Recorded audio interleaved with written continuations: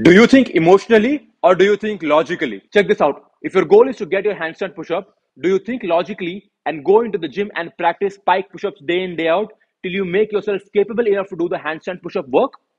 Or do you just go into the gym and attempt random sets of handstand push up and pray for a miracle to happen? Similarly, to improve your back strength, do you practice step by step progressions?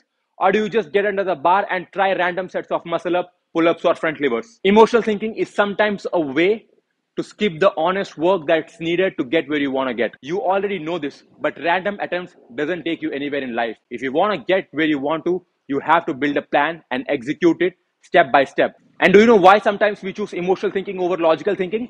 It's because thinking emotionally is easy.